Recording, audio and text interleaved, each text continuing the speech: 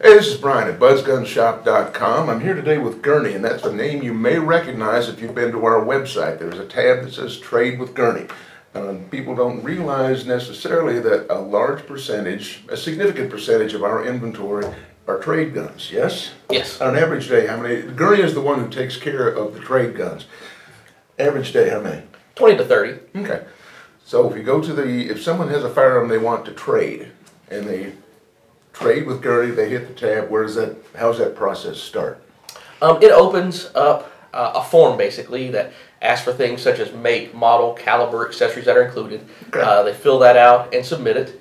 Uh, and hopefully I get enough information to know exactly what they've got. I may go back and forth with them a little bit, getting Okay. clarification. That was my next question. Are there are things that you will want to know, for example, what, what, what would be some of the things you would want to know before you gave them a price? Definitely, what I need to know is make, model, caliber, uh, if there's any different features. Uh, for instance, a shotgun can have a variety of barrel lengths. Okay. Um, I need to know specifically what's included with it. Uh, sometimes, perhaps a model's been around for years and years. Uh, I'll need to know is it a vintage one or is it one of the newer ones? Okay. Uh, production changes over the years, um, things like that. Do things like having the original box and paperwork, does that add value to the gun? Most of the time it does, and that's going to be on a case by case basis. But usually, yes, especially if we've got, uh, for instance, handguns that have a spot for the gun, the extra magazines, and we can keep it packaged and marketed all together. That definitely adds value. Okay, okay. Um, you are often in, you're thrust into a difficult role. Yes, because, yes. Yes, because you cannot always give someone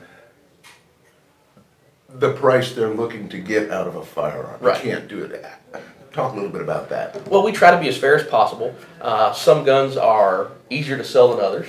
Um, if it's uh, a common gun that we have a lot of experience with, if it's a popular model, uh, there's uh, a little more margin for error. I'm not as nervous. You know, uh, we may not make as much on it, but if we move it quick, quicker, Okay. I'm okay with that. Uh, if it's something odd or uh, depending on the, the cost of it, um, I have to be a little careful. Um, uh, the other thing is changes in the market. You never know what's going to happen from one day to the other. Uh, by the time I've actually had guns that I've bought at a certain price to sell at a certain price, and by the time the order came in, uh, we processed processed it. Uh, the distributors or manufacturers had dropped the price on it. So, got to have a little room for safety. We're not buying these guns because we want to have these guns. Right, right. So, so we're not buying them to keep. We can't pay what they're worth. We, we have to buy them uh, less than that so we can mark them up and sell them. We're, our, our, our, our purpose here is to sell them. Yes, Okay. we try. So, you can't always give someone the price that they, they are looking for. Now, that brings up another interesting question. There are some misconceptions about what adds value to a gun, and I'll give you the classic, and you're gonna wince, is if I tell you, but this belonged to my grandfather. Right. Uh, yeah, we're buying the gun, not the story, definitely. and uh, you know, and, Unless your grandfather was Douglas MacArthur. right, right. Then we'll- Perhaps, perhaps. we'll work with that. Yeah. Um, but uh, but right, the the sentimental value, we can't pay for that. Now, if it's uh, a classic or an antique, uh, something that's desirable, you know, because it's older, then well, look into that. Okay. But but yeah, not the story. Now, that, that takes us to another one. I know this is, this is your, your, uh, your commemorative editions. Is worth the money, is good investment, bad investment? Commemoratives can be really tough depending uh, if they have a universal appeal, like a John Wayne commemorative or uh, Buffalo Bill uh, or certain famous events in history. Those can be desirable. But if it's a very small uh, group or event, then that a lot of times actually lowers the value. Um, Colt single action armies are one of the, the best examples. Um, there are some very odd commemoratives done over the years um, that only appeal to a very small region or group of people, and some of those are actually worth less than just a standard Colt single action. So you are hesitant to, to do trading on a commemorative unless it's a, a John Wayne, something like that? right. Um, And we are lucky since that we list and sell guns nationwide. Um, something that's associated with a different state, we're going to have trouble selling it in Kentucky, except to maybe a specific collector that wants all the models. Sure. But once we put it online, we can reach people in that state. Uh, so that does help. Okay, I, that does make sense. All right, what are you not looking for? Well, uh, we pretty much want anything uh, that we can resell. Um, but we don't want anything in poor condition. Uh, with our volume of trades, trade requests, uh, and, and just all that's coming and going, uh, we don't have time to track down parts. Uh, we don't want to send it off to have it fixed. Uh, we need guns. I prefer them in complete original condition. Uh, we can't do a lot with things that are modified because of you know, liability reasons or, or uh, things that have been you know home built. Well, that's exactly the point I wanted to make. Somebody comes into the retail store with an AR and it's, they built it. Do we want that?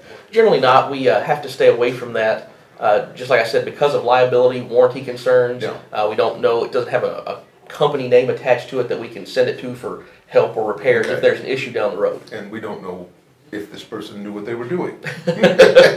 Right. It's always busy.